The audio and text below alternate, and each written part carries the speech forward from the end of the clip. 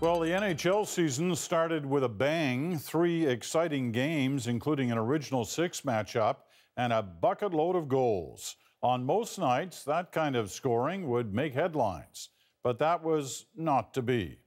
Instead, what many people were talking about was this an NHL player out cold, the result of falling and smashing his head onto the ice during a fight igniting once again a debate over the role fighting has in hockey and leading some to say enough is enough.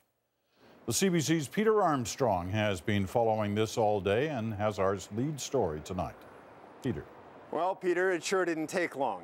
First day of the season, first game of the season, we're already talking about fighting. Takes the shot, Price the save, oh, Orr was there after the rebound. It doesn't take much to start a fight in the NHL, and every time the players drop the gloves, the risk of this is imminent. Wow. Oh, Parros is out.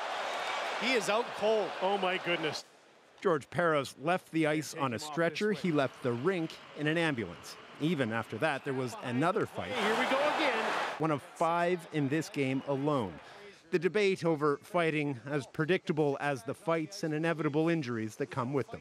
I don't know how they're ever going to get this out of the game. It's in the game. PJ, the line is moving. The line in the NHL is moving. It's moved on icing. Five years ago, you never thought you'd see hybrid icing and the line moved because of the injuries we saw. Don't you think it's moving for all sport, Elliot? Like, it, as an example, totally when we do battle at some point in the NHL's commissioner defended fighting just this week on The National you just don't throw a light switch and effectuate a major change. You try and let the game evolve within certain parameters. Now a couple more punches and down goes Jim Thomson. Jim Thomson spent years as an NHL enforcer, defending stars like Wayne Gretzky. He says the league can throw the switch. By cracking down on cheap shots and defending its stars, he says there'd be no need for fighting, but he wonders what it will take. A death, uh, you know, a devastating injury, uh, a, a player ending up in a coma, I don't know.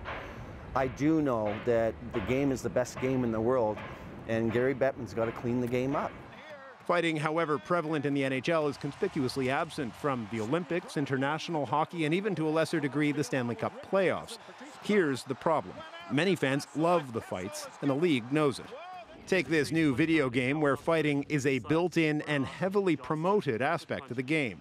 This ensures that your tough guys will fight like tough guys, and the not so tough guys, well...